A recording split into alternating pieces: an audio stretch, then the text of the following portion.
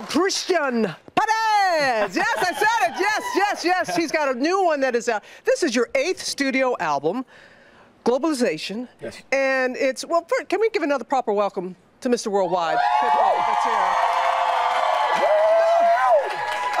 I, lo- I, I love the last one. Every day above ground is a great day. That's right. Yes, and so is this album, and I have to say, it. Thank you. it's beautiful, and you and, and it's and it's fitting that somebody with the nick with uh, also with the name Mr. Worldwide Mm. would have the song, the album Globalization, but it really crosses so many different genres, doesn't it? in Music. Well, what I always say is, what? I, I mic'd up, right? Yeah, yeah, all right. you got it. You go. got it. What I always say is that music is a universal language, breaks Mm-hmm. down uh, barriers, limits, borders, religion, beliefs, cultures, and it brings everybody together.